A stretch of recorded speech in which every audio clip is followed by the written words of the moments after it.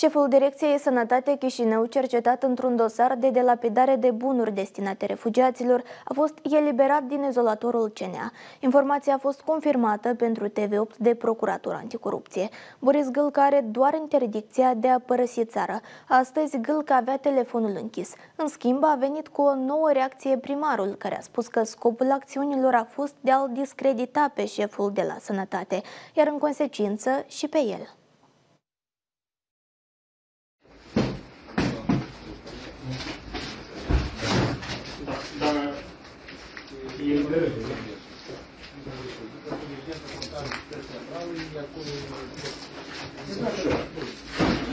Сука, сука, техника автомат.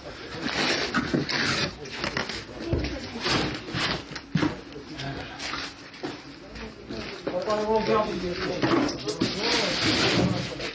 Boris Gâlca, reținut acum două zile într-un dosar de delapidare de bunuri destinate refugiaților, a fost eliberat din izolatorul CNA chiar în prima jumătate a zilei când expirau cele 72 de ore. Acestuia nu i-a fost aplicată nicio restricție decât impunerea interdicției de a părăsi Republica Moldova. Informația a fost confirmată pentru TV8 de adjunctul de la Procuratura Anticorupție, Vasile Plevan. Am vrut să-i aflăm poziția lui Boris Gâlca, dar telefonul șefului de la Sănătate este deconectat. În schimb, cu un nou live pe Facebook a venit venit primarul capitalei. Ion Ceban insistă că totul a fost pornit și pus la cale de guvernare pentru a distrage atenția de la forumul organizat de primărie. Așa cum spuneam la forum, forumul s-a deschis, Gâlcă a fost închis.